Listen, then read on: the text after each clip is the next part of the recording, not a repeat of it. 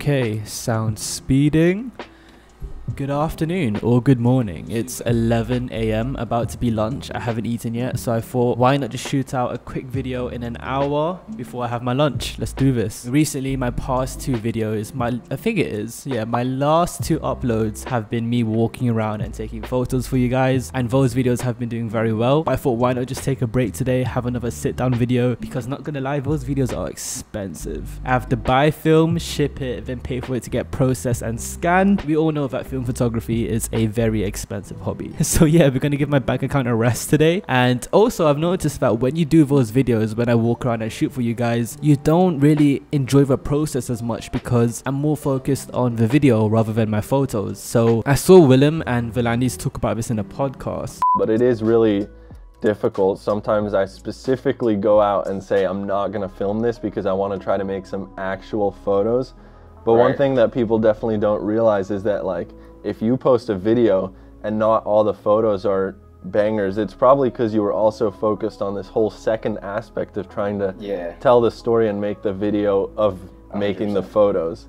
And it's very very true. So yeah that's why i'm taking a step back and taking my time before i shoot another roll because not only is it expensive but also i want it to feel special again. I really want to compose my shots and think about what i'm shooting and tell a story out of it. I think my next roll is going to be some HP5 so yeah look out for that. But anyway yeah we're doing a sit down video today just like the old days on this channel which was like two three months ago. I've noticed that the majority of you lot that watch my videos are beginner film photographers so i thought why not make a video dedicated to you guys all about film photography tips for beginners. Right so i have five tips for you guys that have helped me personally and hopefully they'll help you. So i'll try and keep this concise but also thorough at the same time. Okay so my first two tips are all about exposure and tip number one is all about the sunny 16 rule. If you guys aren't aware of what the sunny 16 rule is it's essentially a way for you to determine your exposure without a light meter whether it's like a manual light meter or a light meter built into your camera. So the sunny 16 rule basically says that if you are shooting outside under direct sunlight much like right now at 11 a.m the best way to properly expose your shot is to set your aperture to f16 and your shutter speed to the reciprocal of your film's iso by the way the sun's going to be popping up and down for this video. The weather's very bipolar today. It's like overcast then sunny out of nowhere. But yes if you ever get confused with the rule just remember the name sunny 16 if it's sunny put your aperture to f16 and your shutter speed to the same number as the iso of your film or the speed of your film. And if you're like me where when i first heard this i was like well what if it's not sunny? How will i expose my photo then? Well don't worry there's an entire chart here. I'll pop it up on screen. So for example if it's like lightly cloudy f11 cloudy f8 overcast f5.6 and sunset f4 and just keep your shutter speed the same number as your iso so yeah that's a very handy rule for beginner film photographers especially for those who don't have a built-in light meter. If you're not doing a proper shoot and you're just taking photos for fun use that rule to properly expose your photos. Okay so let's say that you do have a light meter or that light meter in your camera is working. That's where tip number two comes in. Now for those of you that have dabbled in digital photography then you would know that you expose for the highlights in your frame where in film photography it's quite the opposite because you have to expose for the shadows in your frame. And that's mainly because you want to preserve the details in the shadows and the darker areas. So yeah to get the most of your shot make sure you guys expose for the shadows to get every single detail in there. Unless you're going for like the intentional underexposed look which you can go for. But just be warned that it can turn out to be very grainy and very flat and faded where it's quite hard to make out the image especially do this during night photography. If you're going out and shooting behind a lamppost for example make sure you meter your photo away from the lamppost in the darker areas. Okay so i hope you guys got those first two tips based on exposure and understand them well but the third tip has to do with preserving your film and that's to keep your film in the fridge. And the main reason we do this is because film the actual film strip itself is made out of chemicals and by keeping the chemicals in the fridge it will preserve them for much longer compared to if it was just left at room temperature. Not only does it preserve the chemicals in your film but it can also extend the expiration date if it's stored properly. For short-term use like if i were to use this film in a few weeks to a month i would keep this in the fridge. But if i were to use it like months down the line or maybe a year or so later i would keep it in the freezer. That's what i heard anyway. I posted this fact on tiktok. By the way follow me on tiktok at cameron caffrey. Anyway i posted it on tiktok and somebody commented asking will it not affect or contaminate the food in the fridge considering the fact that these are chemicals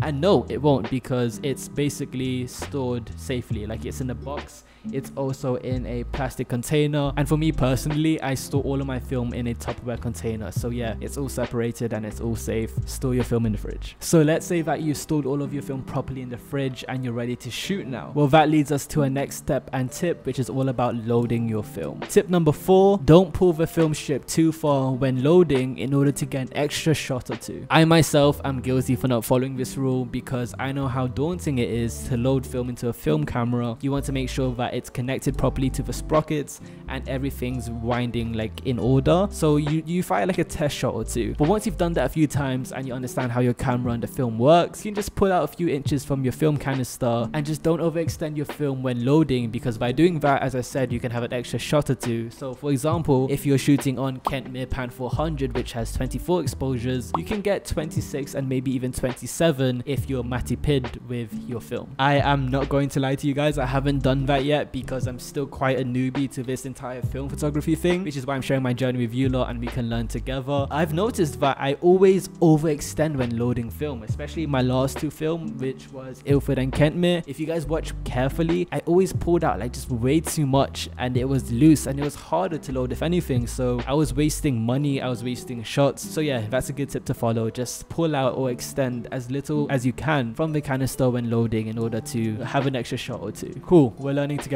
Don't pull the film strip too far. Okay, sweet. Last and final tip of this video, tip number five, which is a very straightforward tip, and that's all about the camera strap on your film camera. So if you guys are fortunate enough to have the original camera strap for your film camera, then you would always know your focal length, and that's because the length of your camera strap from your film camera is the focal length of your camera.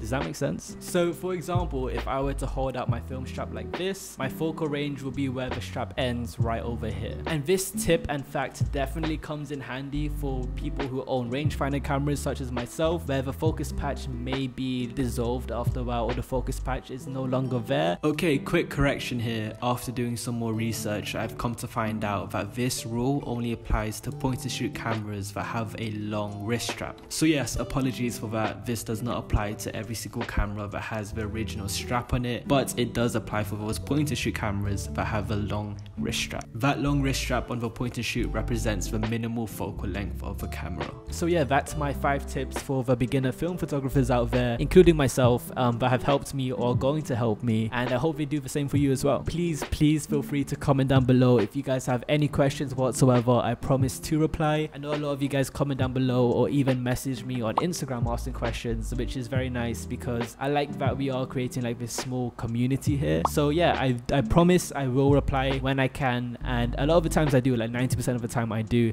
More than 90%, what am I talking about? I always reply. So follow me on Instagram as well if you have any questions or to check out my photography or to know when I'm going to post a future video. My Instagram is at Caffrey Cameron, it's popped up on the screen. Yeah, Sweet. And of course, please subscribe to my YouTube channel. It would really help me a lot. And please like this video to help me out with the algorithm. Turn on my post notifications. I post every one to two weeks, like a week and a half to be to be to be safe. I really do hope this video helped you guys a lot. Let me know what other videos you guys want to see, what kind of videos of mine you enjoy watching so I know what to do so I wouldn't have any trouble like thinking about what to upload or post. Is there only film photography you guys want to learn about or do you also want to learn about filmmaking or digital photography? Whatever, I'm open to suggestions please comment it down below. And as always thank you guys so so much for watching. It really does mean a lot whenever you guys show your love and support. I'll see you in a few days from now or in a week or two for my next video. Until then take care stay safe much love. Bye bye